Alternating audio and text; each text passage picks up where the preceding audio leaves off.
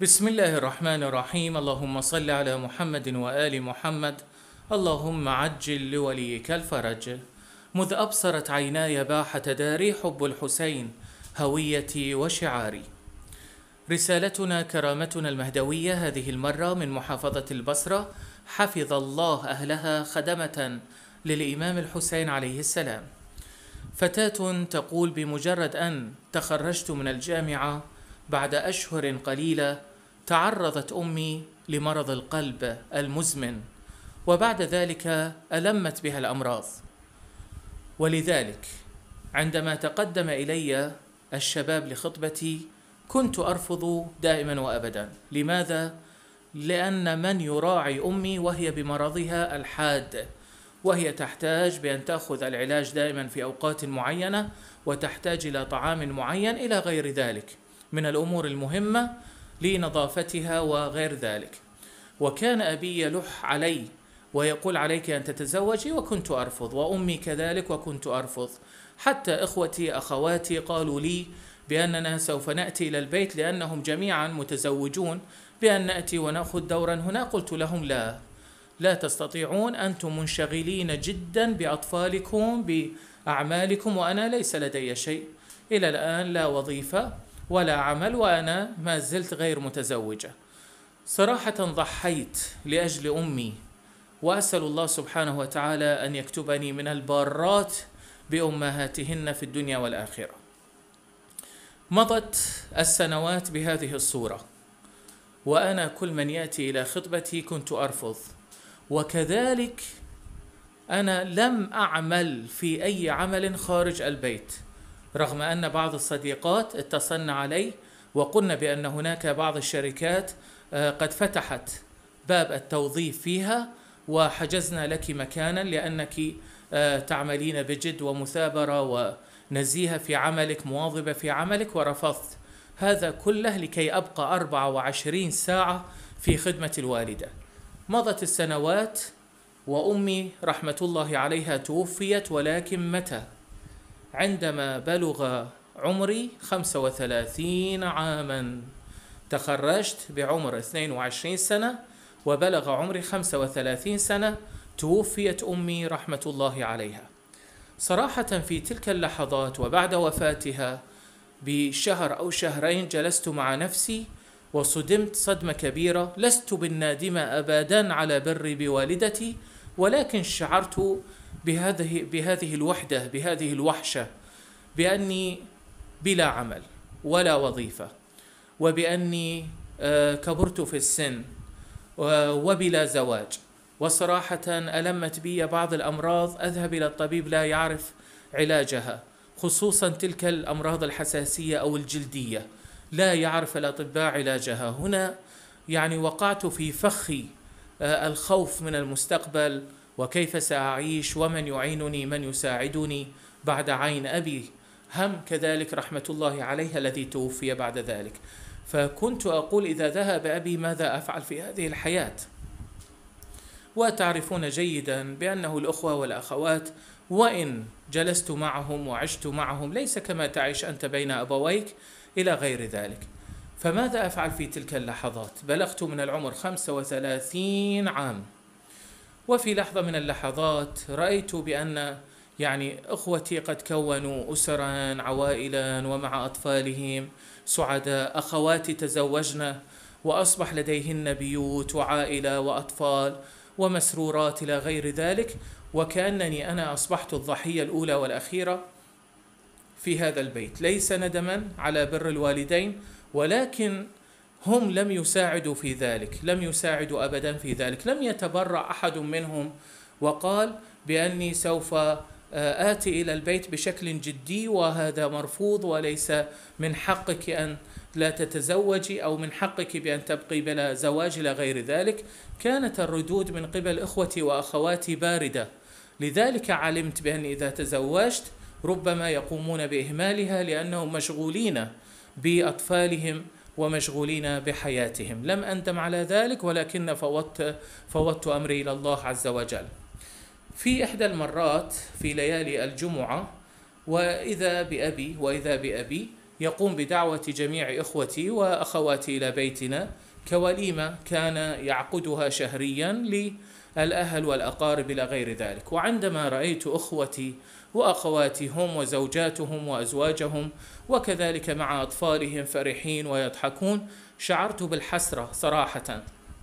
وبدأت هذه المواقف تؤلمني كثيرا خصوصا عندما أسمع فلان ينادي يا أم فلانة وفلان ينادي يا أبا فلان وأنا ينادوني باسمي.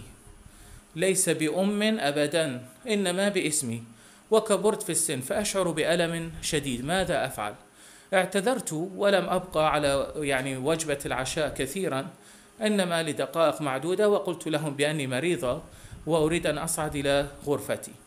عندما وصلت إلى غرفتي وجلست على فراشي اتصلت بي أحد الصديقات المقربات وبدأت تتحدث معي وقالت إلى متى تبقين بهذه الصورة بلا زواج؟ أمك رحمة الله عليها قد توفيت. فقلت لها بصريح العبارة بأن حياتي قد انتهت. حياتي قد انتهت. أنا عمري الآن 35 امرأة مريضة بلا زواج بلا عمل. ماذا أفعل؟ كيف يعني لا ماذا أفعل؟ كيف أستطيع أن أغير من هذا الأمر؟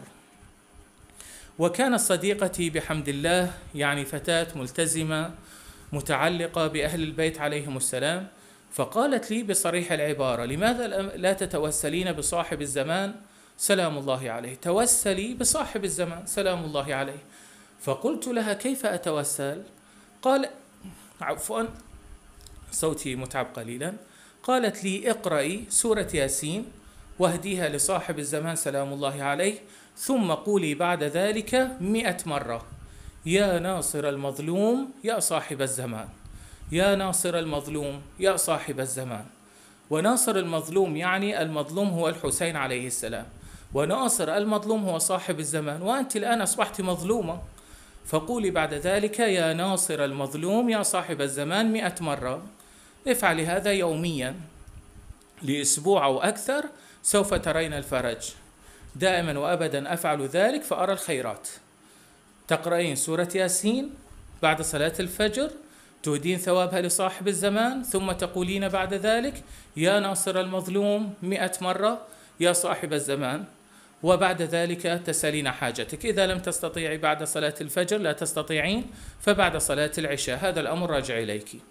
وقع في قلبي بأن هذه هدية من الله سبحانه وتعالى وهدية من صاحب الزمان سلام الله عليه لأني قمت ببر والد والدتي رحمة الله عليها. فعلت هذا الذكر المبارك بعد صلاة العشاء بشكل يومي. أهدي ثواب سورة ياسين لمولاي صاحب الزمان ثم أقول مئة مرة يا ناصر المظلوم يا صاحب الزمان. ثم أسأله بأن يغير من حياتي يجد لي فرجا ومخرجا مما أنا فيه. تقول في اليوم التاسع والعاشر من استمراري على هذا الذكر المبارك وإذا بي في عالم الرؤيا رأيت نفسي في بيت قديم وهو بيت جدتي رحمة الله عليها وجدتي من النساء المؤمنات المتقيات خادمات أهل البيت عليه عليهم السلام. وكانت تعد طعاما رأيتها كانت تعد طعاما وعبارة عن خبز وخيار وقليل من الملح. وإذا بشاب وسيم آه، بشاب يحمل أنوارا إلهية تطوف حوله يدخل إلى البيت. وأمي وقفت جدتي وقفت على قدميها رغم كبر سنها ورحبت به كثيرا وأجلسته ووضعت الطعام بين يديه وقالت يا مولاي يا صاحب الزمان. فعلمت بأن هذا الشاب هو صاحب الزمان سلام الله عليه. قالت له يا مولاي يا صاحب الزمان أتمنى منك بأن تدعو لابنتي هذه. فنظر إلي نظرة الرحمة صاحب الزمان سلام الله عليه نظره ملؤها العطف والحنان كاب كأب ينظر لابنته. تناول شيئا بسيطا من الطعام ثم رفع يديه إلى السماء وتمتم بكلمات لم أسمعها. عندما جلست عند الصباح شعرت بفرحة كبيرة جدا جدا جدا وشعرت بأن هذه بشارة إن شاء الله تعالى. على كل حال ما مضى على هذا الحال إلا أسبوعين وأنا مستمرة. مستمرة بأن أقرأ سورة ياسين بعد صلاة العشاء وأقول يا ناصر المظلوم يا صاحب الزمان مئة مرة ثم أسأله الفرج لحالي ولوضعي إلى غير ذلك. بعدها بعد الأسبوعين جاء أخي إلى بيتنا وقال لي أمي قد توفيت رحمة الله عليها وأبي بحالة جيدة ونحن الآن نستطيع أن نزوره أو يريد أن يأتي أحد أخوتنا يعيش معه في البيت. إذا أراد وإذا أحب. ولكن لا بد لك بعد ذلك أن تتزوجي أنا استغربت. قلت لها أنا الآن يا أخي بعمر 35 قال هو هذا المطلوب. فاستغربت من كلامه أكثر. قلت له كيف؟ قال لدي أحد الأصدقاء قد تزوج من امرأة وكانت هذه المرأة مزعجة في حياته لأكثر من سنة. أزعجته كثيرا بأخلاقها بتصرفاتها وهو قد يعني أقسم على نفسه أن لا ينجب منها طفلا. أبدا حتى وصل الأمر إلى الطلاق وقام بطلاقها. وهو اليوم يريد أن يحظى بفتاة ملتزمة وصاحبة أخلاق. الرجل عمره 36 سنة وأنت 35 سنة وأنت امرأة آه، جيدة. وهو لا يريد أن يتزوج من شابة بالعشرين لا يريد. يريد امرأة مناسبة لعمره. على كل حال فأنا قلت الأمر لأبي وإذا بأبي يوافق.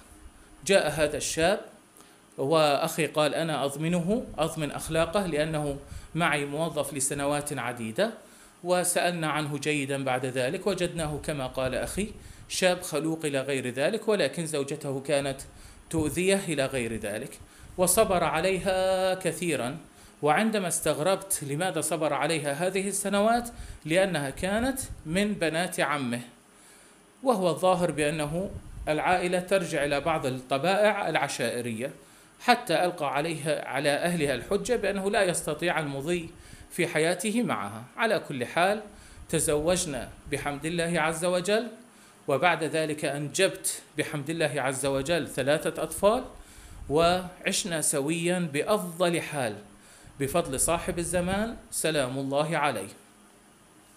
للمعلومة كذلك بأني حصلت على وظيفة في إحدى الشركات الأهلية ووافق زوجي وأنا التي كنت في لحظة من اللحظات كنت أقول قد انتهت حياتي لأني بلا عمل وبلا زواج ومريضة. سافرنا إلى الخارج وعولجت هذه الأمراض الجلدية بحمد الله ورجعت كأني بالعشرين من عمري وهكذا هو أهل البيت عليهم السلام. يكون عطاءهم دائما يفيض بالخير يفيض بالعافية يفيض بالبركة. برنامج صباحات ولائية من محمد خادم في مرقد الحسين بن علي عليهما السلام.